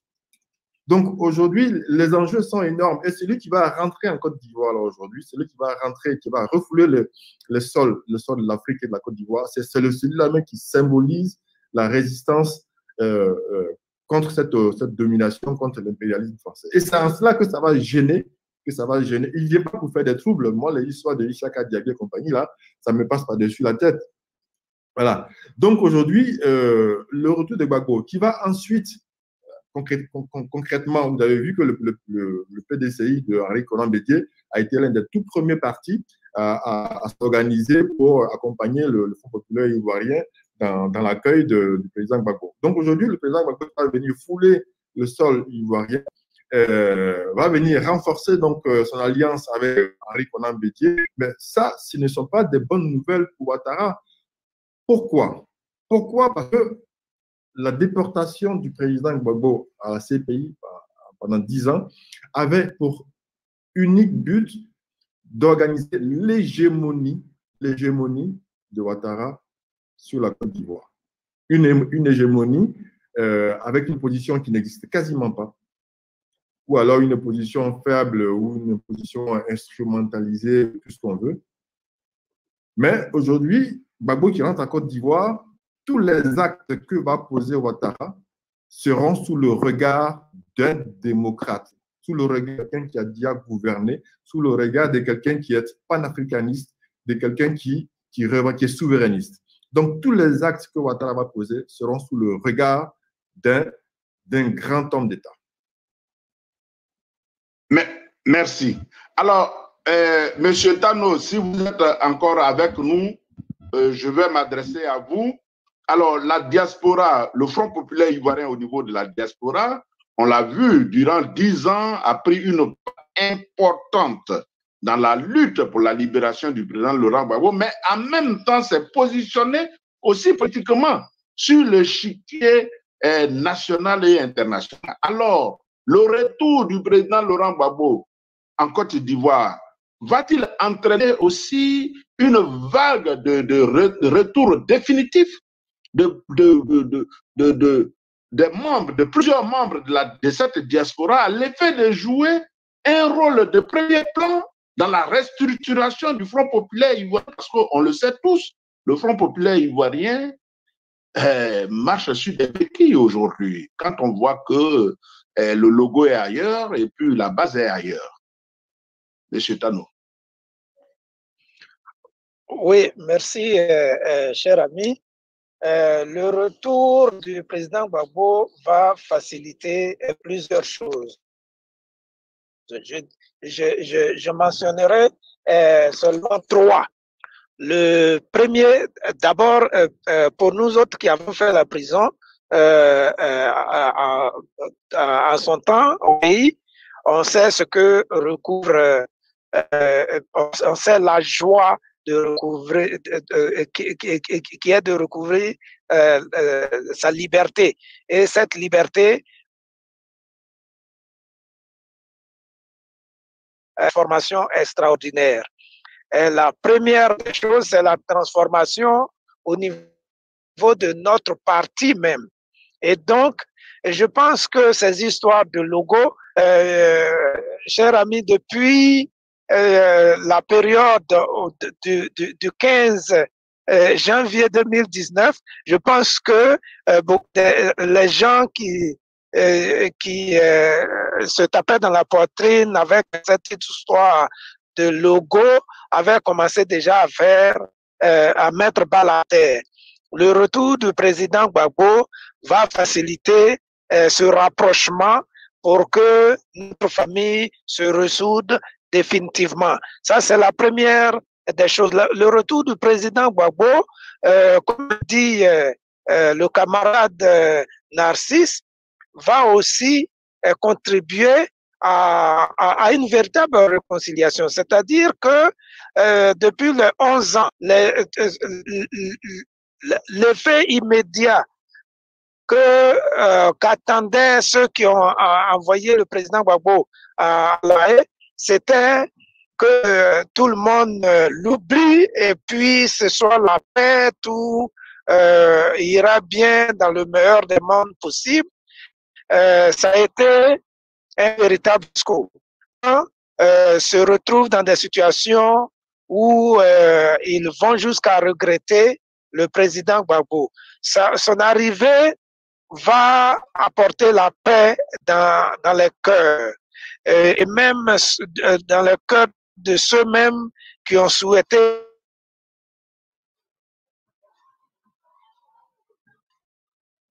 sa mort hier. Euh, espère, espère, que euh, tous les anciens, les trois chefs, les anciens chefs d'État de la Côte d'Ivoire se retrouvent pour donner une nouvelle orientation à, à, à, à vivre ensemble dans le pays. Ensuite, lorsque cela sera fait, vous avez posé la question, est-ce qu'il y aura le retour massif de plusieurs membres de la diaspora? Mais c'est tout à fait euh, euh, euh plausible. Moi avec, parce que nous espérons que, que la paix s'installe dans notre pays pour que nous apportions notre contribution. N'oublions pas que cette diaspora se retrouve euh, de l'autre côté pour apprendre et, et, elle voudra forcément euh, apporter euh, sa connaissance pour euh, asseoir le développement dans, dans notre pays parce que euh, euh, il faut oublier que la Côte d'Ivoire regorge de beaucoup de ressources et il faut pouvoir transformer ces ressources. Nous sommes venus, pour beaucoup d'entre nous, savoir pourquoi les gens quittent ici pour aller chercher là-bas qu'est-ce qu'il y a d'extraordinaire qu'il euh, peut voir plus que nous? Nous avons vu cela. C'est notre devoir d'apporter notre grain de sel au développement avant que nous quittions cette terre. Oui, je crois que beaucoup de personnes viendront à la suite du président Gbagbo lorsque euh, il y aura la paix qui va être célébrée. Beaucoup de personnes viendront pour apporter leur pierre à l'édifice du développement de notre pays. C'est ce que je pouvais dire à votre, euh, pour répondre à votre question. Merci. Merci bien, M. Tano. Merci bien, M. Tano. Madame euh, Georgette Nekalo, vous qui êtes euh, au Front populaire ivoirien depuis votre jeune âge, c'est ce que vous m'avez dit en off. Donc, aujourd'hui, le président Laurent Gbagbo était en prison, c'est pour ça que vous étiez en exil. Alors, votre projet immédiat, c'est de retourner définitivement au pays. Et vous, avec beaucoup de membres de la diaspora, du Front populaire ivoirien, parce que le Front populaire ivoirien a aussi besoin de ses ressources humaines. Oui, euh, merci. Euh, notre joie est grande. Lorsque la première vague des exilés est rentrée, et qu'on n'a pas entendu les bruits de bottes, on s'est dit, bon, le pouvoir est certainement en train de comprendre que il est temps pour que les enfants de la Côte d'Ivoire se parlent. Et puis, la deuxième vague est rentrée. Et puis, ce fut le tour de Kone Katina, camarade Kone Katina et Picasse et la camarade Koudou Jeannette. On n'a pas entendu le bruit de bottes. Je dis, OK, c'est que le chef peut rentrer. Euh, ils ont interpellé Picasso pour certains, certains propos qu'il aurait tenus. Vite, c'est passé. Ce que nous voulons dire, c'est que le pouvoir en place a l'obligation d'organiser le retour des exilés. Le pouvoir en place a l'obligation et le devoir de libérer les prisonniers politiques et militaires ça fait dix ans Obama qui sont en prison. Sans oublier quelques anonymes qui meurent. Ce n'est pas honorable pour M. Ouattara. En tout cas, nous qui vivons à l'étranger, on a honte quand on apprend souvent certains propos bien écrits sur notre pays. Parce que quoi qu'il en soit, c'est notre pays. Effectivement, la joie qui nous anime aujourd'hui, c'est que le président Laurent Gbagbo arrive le 17 en Côte d'Ivoire, il regagne chez lui, qu'il respire l'air de ses ancêtres. Et ensuite, le maillon manquant qu'il était à la réconciliation, et il n'arrête pas de le dire. Il a appelé son grand frère, euh, le président Bédier, pour dire, arrange-toi pour qu'il y ait réconciliation. Alors que cette tâche devrait incomber au parti au pouvoir. Mais ils le chantent et ils ne font rien. Donc, le retour du président est un élément qui va venir assouplir, qui va venir mettre un peu de baume dans les cœurs meurtris. Et c'est en cela, je veux dire à Issouf Isiaka Diaby, que les victimes, ce ne sont pas ces femmes, d'après lui, mortes réveillées d'Abobo. Cette année, ils n'ont même pas célébré. Je n'ai pas compris pourquoi. OK, bon, c'est autre chose. Parce que la vérité commence à poindre hein, le nez. Donc, ce n'est pas ça. Nous sommes tous des victimes. Je le dis, quel que soit le plateau où je me trouve. J'en suis une victime. Mon village a été totalement rasé. Mon oncle est tué, découpé, brûlé avec sa mère de 90 ans. Vous comprenez? Les victimes, il y en a. Mais nous voulons penser ces plaies-là pour dire, regardons la nation. Je vis en, France et je vois comment les Français ont dépassé les histoires de, de, Colombo en 1939 à 44 ici en France et ils ont construit la nation. Nous voulons construire une nation. Et en Côte d'Ivoire, il y a au bas mot 62, 112 ethnies. On doit vivre ensemble. Les Isiaka Diaby qu'on a intégrés dans notre nation, c'est pas à eux de nous chasser de notre nation. Donc, nous sommes prêts pour la réconciliation et avec le président Gbavo Laurent. Voilà. Donc, il rentre justement pour ça. Merci. Alors, Monsieur Nancy Zaïbo, Madame Georges Nekalo euh, donnait tout à l'heure l'exemple de la France hein, après la Deuxième Guerre mondiale, mais on sait tous que dans les mémoires de la Seconde Guerre mondiale en France, il y a eu beaucoup de procès euh, qui ont tourné autour justement. Il y a eu l'épuration sauvage d'abord et l'épuration légale, donc euh, beaucoup de procès. Et c'est ainsi que beaucoup de ceux qu'on appelait collabos, collabos donc les collaborateurs, des choses euh, vichistes, ont été condamnés. Alors pour vous, vous êtes la diaspora du Front populaire ivoirien. Quelle forme, en dehors du fait que nous avons nos traditions, hein, qui sont faites d'alliances, l'ivoirien, on le sait tous, il est pacifiste, quelle forme doit prendre cette réconciliation que nous professons tous?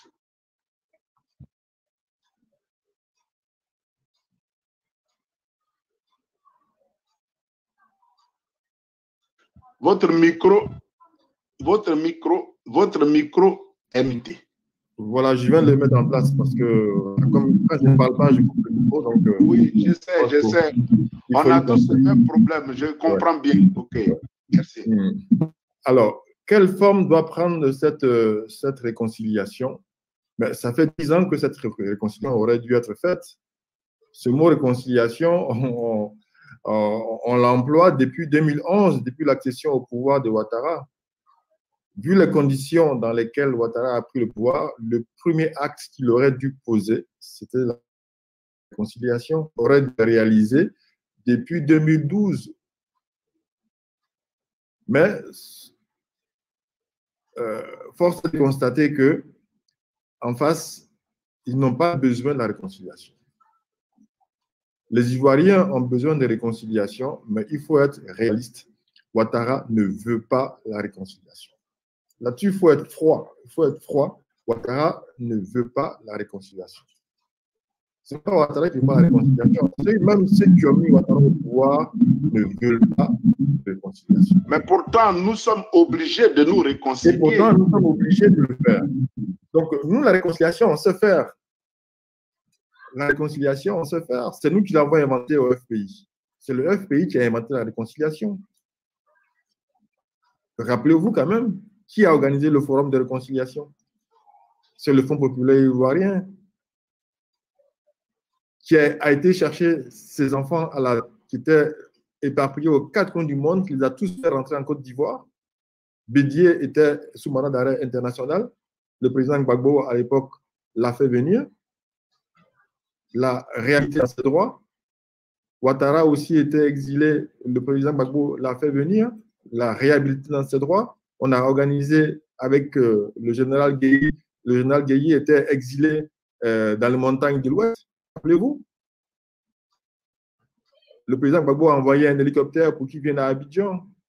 On a fait cette réconciliation, les images sont encore dans ma tête, à l'hôtel à Yamoussoukro. Tous les trois ténors où les quatre ténors de la vie politique à l'époque, Bagbo, Bédier, Gueye et Ouattara, se sont enfermés à, Yamoussoukro. Donc la réconciliation, c'est faire. Donc ne nous demandez pas comment il faut faire, on, l'a déjà. Donc pendant plusieurs mois, la Côte d'Ivoire euh, sous Bagbo, elle s'est parlé. Tous les enfants toutes les filles et fils de la Côte d'Ivoire se sont parlé pour organiser cette si voulez, je peux préciser encore, si vous voulez, excusez-moi, je peux préciser davantage ma question pour dire que, par exemple, dans certains pays comme le Rwanda ou l'Afrique du Sud, il y a eu une justice transitionnelle, il y a eu des forums de réconciliation, vérité, réconciliation, d'ailleurs, vous évoquez ça.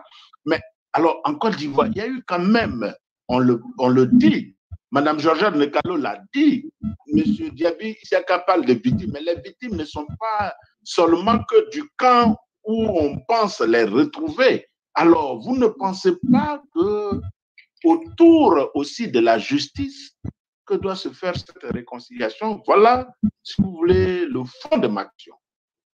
Alors, non, mais il faut bien préciser les choses. Nous sommes en Côte d'Ivoire, on sait exactement que dans la guerre qu'on a connue en Côte d'Ivoire, dans la crise qu'on a traversée, l'issue de la crise telle qu'elle a été menée par la coalition internationale était de transformer les victimes en bourreaux et les bourreaux en victimes. Si on doit procéder à une réconciliation, c'est de réhabiliter les choses. C'est-à-dire que les vraies victimes de la Côte d'Ivoire, ce sont les enfants de la Côte d'Ivoire. Et c'est la raison pour laquelle, quand tout à l'heure je vous disais que Ouattara en face, ils n'ont pas envie de réconciliation, parce que la réconciliation doit permet de dire cette vérité-là. L'impérialisme occidental a fait que les victimes sont devenues des bourreaux et les bourreaux sont devenus des victimes. Aujourd'hui, on a la chance que la CPI a réhabilité au moins cette vérité-là. La CPI a permis de faire euh, l'éclairage sur cette vérité-là. Parce que toutes les soi-disant 82 témoins qui sont partis là-bas se sont tous transformés en des témoins hostiles. Donc aujourd'hui, on a une base légale, une base juridique c'est-à-dire ce sont les conclusions de la CPI, d'accord, qui doivent permettre aujourd'hui de réconcilier tout le monde. Et quand on parle des victimes et quand, on parle du bourreau, rappelez-vous, euh, le président français est allé récemment demander pardon au Rwanda. Il faut que les Français, qui font partie des bourreaux des Ivoiriens, fassent partie du processus de réconciliation. Très bien. Il faudrait que les Français fassent partie du processus de réconciliation. Vous êtes le FPI de la diaspora. Je pense que ce message est adressé à qui de droit les destinataires l'ont compris. Alors, nous, cela fait une, une heure quinze minutes que nous discutons. Vous avez dit que pour certains, vous avez, des préoccupations nous avons forcé sur votre temps. Madame Georgette Nekalo a une réunion. Euh, Monsieur Narcisse Zaïbo a aussi des préoccupations professionnelles, Monsieur Tano également. Donc, euh, nous allons sortir de cet entretien. Mais pour sortir, nous allons donc faire un tour de table en commençant donc euh, par euh, Monsieur Tano. Pour vous, quel message la diaspora hein, de l'Europe du Nord ou dans la diaspora du pays dans sa globalité lance aux Ivoiriens pour euh, que tout le monde s'apprête, hein, nonobstant, hein, nonobstant eh, chose, eh, le refus du régime RHDP d'accueillir le président eh, en fanfare. Alors, quel message vous lancez? Merci, euh, euh, cher monsieur. Merci à votre télévision de nous avoir permis de, de discuter sur euh, quelque chose qui intéresse tout le monde.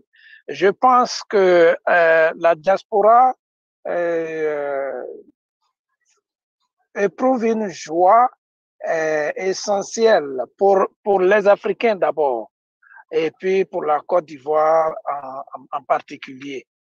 Du fait que c'est très important qu'on se le rappelle. Tous les leaders, euh, les leaders africains de la trempe de Laurent Gbagbo qui ont essayé de, d'imposer l'image de l'Africain, tous ces Africains, ces leaders africains ont été tués. Le président Laurent Gbagbo, euh, quel que soit notre bord politique, a montré qu'on peut faire la politique de manière honnête et puis on peut triompher de, de, de mensonges. Cela est important. Le combat qu'il a gagné, ce n'est pas un combat personnel, euh, d'autant plus qu'il ne s'agissait pas pour lui de défendre sa chapelle euh, euh, familiale, de défendre son image de quelqu'un qui n'a pas volé ou qui n'a pas et qui ne voulait pas être sali. Ce qu'il voulait démontrer, il a dit à maintes reprises, c'est que les Africains sont aussi des êtres humains. Ils doivent marcher la tête haute. C'est cela qui est important. Et c'est cela qui enjoint chacun de nous à être présent pour célébrer. Ce n'est pas le retour d'un être humain euh, singulier qu'on va célébrer. C'est le triomphe de la vérité. La vérité qui est que ce n'est pas parce qu'on est président africain qu'on est dictateur. Ce n'est pas parce qu'on est président africain qu'on est voleur. C'est parce que on est justement président africain d'un nouveau type qu'on doit relever la tête. On doit donc aller célébrer ce nouvel homme africain. Et c'est cela qui doit enjoindre chacun de nous à être présent pour l'accueillir, pour lui dire à quoi bas sur tes terres tu nous as fait honneur. Merci, cher ami. Merci beaucoup, Monsieur Tando. Et Monsieur Narcisse euh, Zaïbo, nous sortons donc de cette émission. Quel message depuis les Antilles vous lancez euh, aux Ivoiriens pour euh, s'apprêter à accueillir le président Laurent Gbagbo?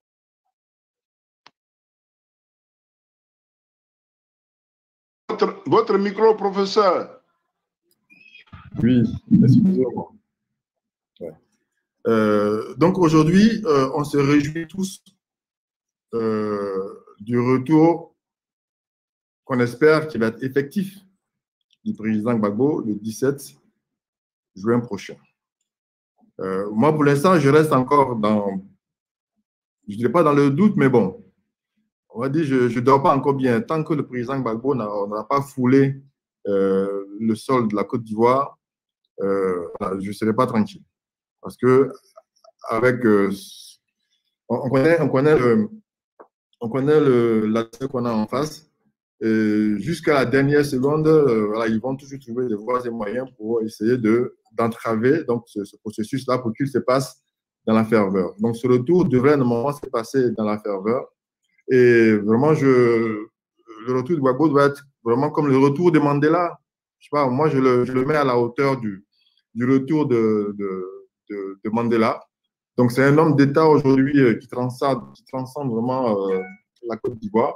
Et son retour là, qui va venir renforcer un peu le, comment dire, l'opposition qui s'est vachement affaiblie en Côte d'Ivoire, est une très, très bonne nouvelle pour les Ivoiriens pas seulement pour la, réconciliation. C'est vrai qu'on met beaucoup l'accent sur la réconciliation, c'est important, mais euh, il s'agit aujourd'hui de faire revivre le jeu politique en Côte d'Ivoire. Il s'agit aujourd'hui de faire revivre le jeu politique en Côte d'Ivoire. La réconciliation, c'est le pardon. D'accord? Mais au-delà du pardon, il faut que la politique reprenne ses droits. Ça, c'est important. Au-delà du pardon, qu'on va s'accorder les uns les autres et qu'il faut qu'on s'accorde effectivement. Il faut que la politique reprenne ses droits. Et aujourd'hui, euh, ça contient, Bagbo va rentrer en Côte d'Ivoire, les histoires de logo vont disparaître systématiquement, mais vraiment automatiquement. Euh, tout le monde va s'aligner derrière lui. Le Front populaire ivoirien va dorénavant parler d'une seule et une seule voix. Donc, euh, il n'y aura même pas de débat sur, le, sur les histoires de, partis et de logos. Donc, euh, son retour-là euh, nous enchante parce que ça va réunifier la famille FPI. Et donc, il faut quand même savoir que moi, sur le plan politique, la personne qui vient, c'est la personne qui a une légitimité morale. On a les élections prochaines, c'est dans cinq ans c'est en 2025, c'est encore très loin. Mais le fait qu'il y ait aujourd'hui une personnalité comme Bagbo avec une légitimité morale, une légitimité historique, une légitimité incontestable, une légitimité politique aussi. Une légitimité politique aussi. C'est cela, une légitimité politique incontestable. Euh, mais la, la, légitimité morale, je la mets en avant parce qu'aujourd'hui, Bagbo qui rentre, il ne va rien revendiquer du tout sur le plan politique, mais le fait que sa légitimité morale aujourd'hui soit sur la Côte d'Ivoire fait que Ouattara sera obligé de gouverner différemment. Et c'est ça le jeu politique, c'est ça la démocratie. La démocratie, ce n'est pas uniquement que d'être au pouvoir, mais tout en étant en position de faire en sorte que le, d'être une espèce de garde-fou pour le pouvoir. Aujourd'hui, ce pouvoir Ouattara, depuis dix ans, n'a aucun garde-fou. Ils n'ont aucun garde-fou. il n'y a pas d'opposition. Le, le PDCI tout seul ne peut pas constituer un garde-fou pour le pouvoir. Voilà. Donc aujourd'hui, le fait que le rentre va permettre que l'opposition aujourd'hui sache qu'il n'est pas tout seul. Ils sont comme aujourd'hui un aveugle qui suit une piste de danse. Ils font tout ce qu'ils veulent, ils font n'importe quoi. Parce qu'ils ont la caution de la communauté internationale. Mais le fait que le président Gbagbo rentre avec cette légitimité morale, cette légitimité politique, avec son aura qui dépasse celui de la Côte d'Ivoire, Ouattara sera obligé de gouverner autrement.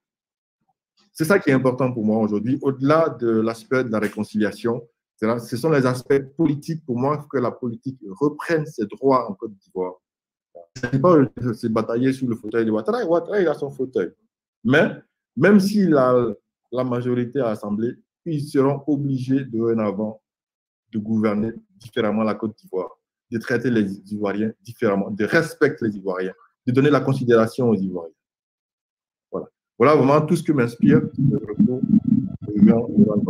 Merci beaucoup pour euh, cette note d'espoir. La politique doit reprendre ses droits.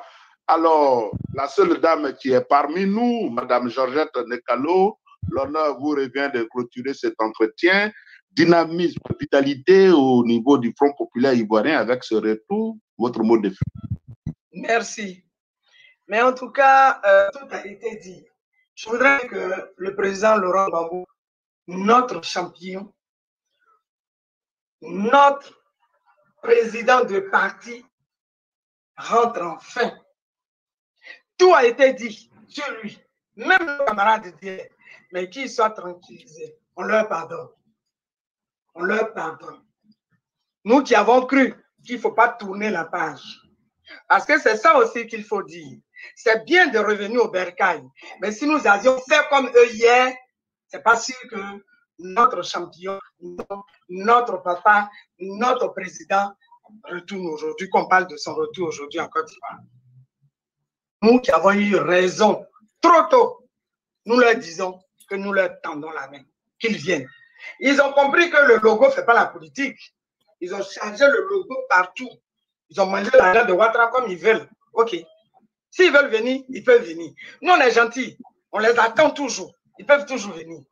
Effectivement, la politique doit prendre ses droits en Côte d'Ivoire. Merci, camarade Narcisse.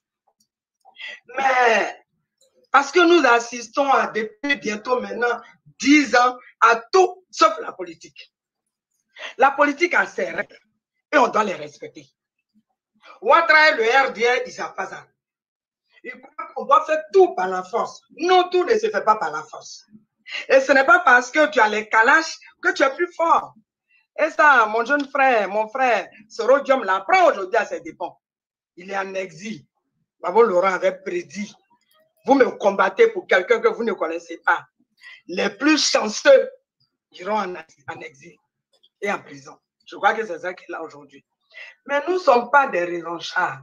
Nous voulons montrer à la Côte d'Ivoire qu'on peut faire la politique autrement. Vous pouvez aller chercher chez l'Armentan. C'est notre projet de société pour la Côte d'Ivoire. On peut gouverner autrement. Et nous voulons gouverner ce pays autrement. Que Ouattara et le RDS se tranquillisent. Si nous, notre champion rentre en Côte d'Ivoire, c'est pas pour aller lui prendre son fauteuil comme lui l'a fait. Non. Les échéances, hein, les échéances électorales arrivent. Et nous allons compétir démocratiquement. Nous nous battons depuis des lustres pour que la Côte d'Ivoire connaisse ce qu'on appelle une élection démocratique. De sorte que l'Afrique retienne que une élection, on ne doit pas avoir des morts. Non. On ne doit pas avoir des prisonniers. Non. On vient exprimer son choix. Si tu as perdu, tu as perdu. Tu as gagné, tu as gagné. Mais vraiment dans la transparence. Il faut que nous arrivions à cela. Pour finir, je voulais dire à la diaspora, à vous, grand merci. Jamais le Front populaire ivoirien Vous profitez pour donner vos contacts et je demande à la régie d'afficher le contact de Mme Nekalo sur, euh, sur l'écran pour l'organisation pratique du retour. Alors, allez-y. Euh, je donne maintenant ou je conclue d'abord? Alors, donc je disais que à vous, la diaspora, vous qui avez marché contre toute forme d'intempérie ici, nous avons la neige, nous avons le vent, nous avons la pluie, nous avons la chaleur. Mais cela ne nous a pas empêché de crier à travers l'Europe, dire que celui que vous tenez là, ce n'est pas le bon pion, ce n'est pas le bon client. Et nous avons eu raison. Donc, quand vous avez libéré celui qui n'est pas, qui n'était pas ce qu'il faut, il doit rentrer chez lui. Donc, vous qui aviez marché, qui aviez crié, qui avez pleuré, qui avez chanté, qui avez veillé, lui, et qui avait échappé plusieurs fois à la mort. Le jour où on partait en Italie, on avait failli tomber dans un ravin entre la Suisse et l'Italie. Dieu merci, il nous a épargnés. Vous qui avez fait tout ça, ne l'oubliez pas. Allez à l'aéroport. Montrez aux yeux du monde ce champion-là. Vous êtes tous derrière lui. Parce qu'on nous a fait croire que nous sommes très émotifs et que deux mois après, on va arrêter. C'était Nicolas Sarkozy. Ça fait dix ans que ça dure.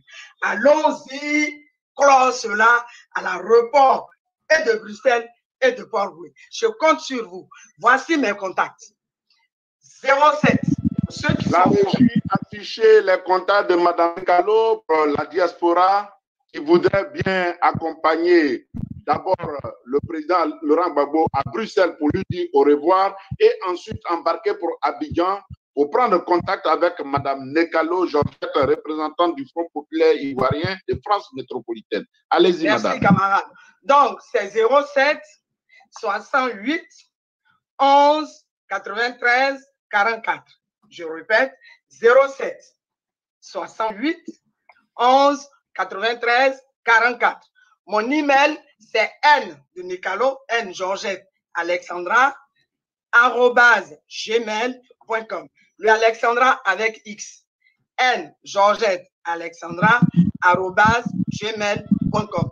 Je vous remercie, chers frères et sœurs, chers militants et sympathisants, chers Africains, chers Européens, parce qu'on a des Européens qui nous ont soutenus. Et je fais un clin d'œil au parti. Je leur ai déjà dit en off qu'ils nous envoient des courriers pour que nous allions donner, rien que par reconnaissance, à ces hommes politiques français qui ont mené le débat, qui ont mené la lutte au sein de, l'Assemblée nationale, au sein du Sénat et même à l'Élysée. Que bien que par reconnaissance, s'ils reviennent, s'ils viennent en Côte d'Ivoire, vous serrez la main du président Laurent Gbagbo, ça serait très bien, mais s'ils ne peuvent pas, au moins qu'ils sachent que le parti ne les a pas oubliés. Je vous remercie. Merci pour votre chef. Merci. C'est nous qui vous remercions, monsieur. Bon, ne partez pas. Vous allez, vous continuer de suivre les émissions de DZN TV. Nous avons donc eu plaisir à être aujourd'hui, à ouvrir la grande lucane de DZN Eh, aux représentations FPI de la France métropolitaine représentée par la responsable première, Madame Nekalo Georgette, la représentation FPI Outre-mer représentée par le responsable premier, le professeur Zaïbo Narcisse, la représentation FPI du Danemark pour parler au nom de l'Europe du Nord, représentée par donc, celui qui a été désigné, Monsieur Tano Kadio, je crois qu'il est encore avec nous. Donc, mesdames et messieurs, nous avons eu plaisir à être à votre compagnie pour parler donc du retour du président Laurent Gbagbo comment le Front populaire ivoirien, au niveau de ses représentations dans la diaspora, s'organise pour accompagner le président Laurent Gbagbo? Vous, avez, eh, vous nous avez suivis. Si vous ne nous avez pas suivis, pour ceux qui viennent maintenant, vous contacterez Madame Georgette Necalo, dont le numéro s'affiche sur l'écran. Eh, 00 337 68 11 93 44 pour les dispositions pratiques.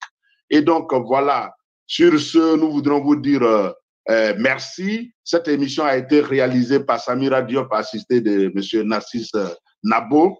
Nous avons eu plaisir à être à votre compagnie. Deuxième TV, la diaspora s'exprime. Bonsoir chez vous. Le foyer compliqué de Madame Agbès. Réponds-moi, réponds-moi, je suis ta femme. Je dois savoir où est-ce que tu vas. Venir me trouver ici. Tu vas venir me trouver ici. Un voyage dans l'univers rocambolesque d'un foyer de migrants en Angleterre. Suivez les aventures et mésaventures de Madame Apès, une capsule de 5 minutes tous les samedis sur tous les réseaux sociaux et chaînes TV. Le foyer de Madame Apès, une idée originale, le trésor à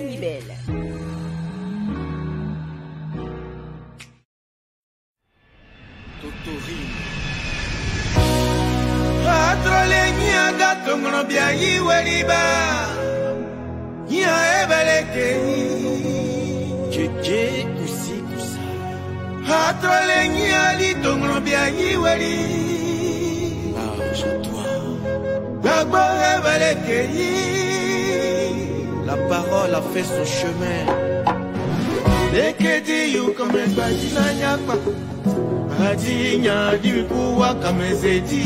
Zedi nya kome kodo payu. Kodo payu dikuwa kame zadi. Mais l'homme a fait le trajet. Yagba suzu Zeki tigbe Koko mele dikuwa kame biayi. Biayi ne wasa gbagbo korogo. Korogo nya dikuwa abija Abija suke wakome gemre soku Le monsieur là vous a fait quoi même Ce pays wanu je vais néguer La enya suke hanyere gbagbo. Lekude kobe wase tuke Yuzu etu bonbon mi blele Yeah Gbagbo akaleke Nicole Poivré. De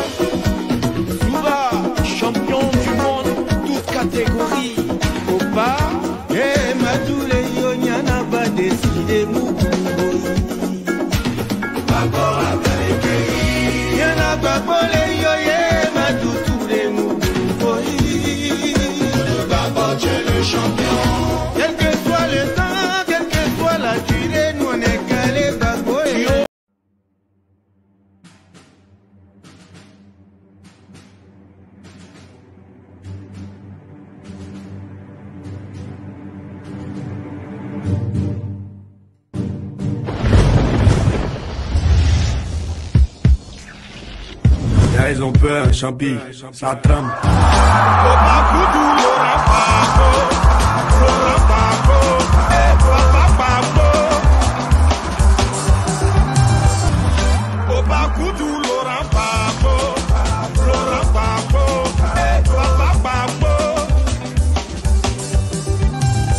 Est-ce que je peux compter sur vous? Est-ce que je peux compter sur vous?